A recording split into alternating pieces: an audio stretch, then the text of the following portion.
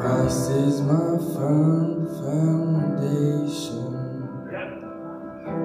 the rock on which I stand when everything around me is shaking. I've never been more glad that I put my faith in Jesus, cause he's